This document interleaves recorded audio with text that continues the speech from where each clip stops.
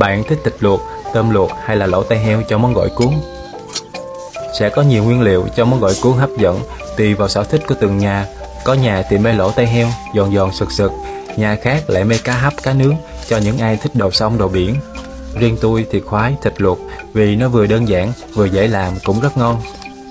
Thịt khi luộc thì tôi cho vô vài lát gừng và một củ hành tím để thịt thơm và không bị hôi. Rau sống thì tôi mua đủ loại cho thơm, thêm giá hẹ dưa leo khóm chín cho đủ vị. Phần cuối cùng cũng là phần tinh túy của món gỏi cuốn này, đó là nước chấm. Nhà tôi thì hay chấm với lại nước mắm tỏi ớt chua ngọt vì nó dễ làm, dễ ăn. Để cho nước mắm thơm ngon thì tôi dùng nước mắm cá cơm bà Duyên. Đây là nước mắm cá cơm của làng mắm An Vũ, xứ Nẫu, Bình Định. Được ủ từ con cá cơm than và muối trắng theo phương pháp truyền thống gia truyền.